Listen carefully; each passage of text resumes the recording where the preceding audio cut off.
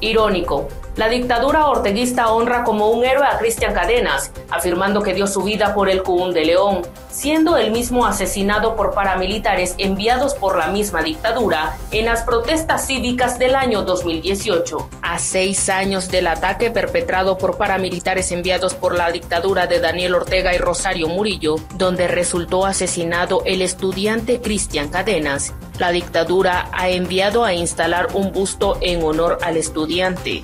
Cabe destacar que la dictadura orteguista acusó a Byron Estrada y Nairobi Olivas por el incendio del CUN y el asesinato del estudiante. Ante esto, el excarcelado político Byron Estrada expresó a Darío Medios Internacional lo siguiente. Claramente la dictadura ha tratado de manipular los hechos y acontecimientos y un bulto no refleja como tal la devolución de los derechos académicos, de los derechos a la libertad de expresión, los derechos a la libertad de cátedra y mucho menos los derechos estudiantiles. En referencia a lo que pasó ayer, pues un acto de fachatez de parte de la dictadura. Recordemos que la UNAM León está coartada por el Frente Sandinista, se han violentado derechos estudiantiles, ¿no?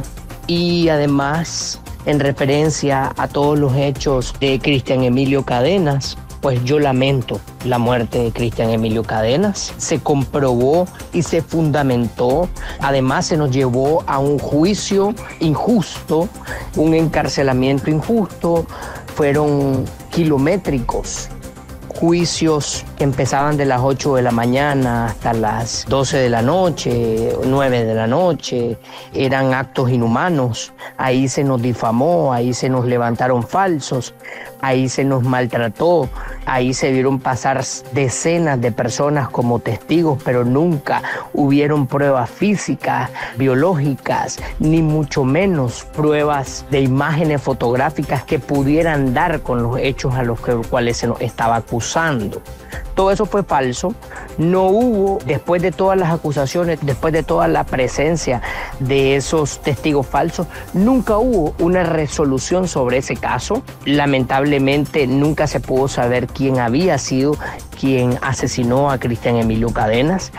Nosotros, en mi caso, yo estuve casi 10 meses en prisión por ese hecho y, nunca se me comprobó alguna relación con ese hecho que, que yo lo había cometido mi lucha va a ser siempre una lucha de ese grito de Mariano Feyo Gil, a la libertad por la universidad.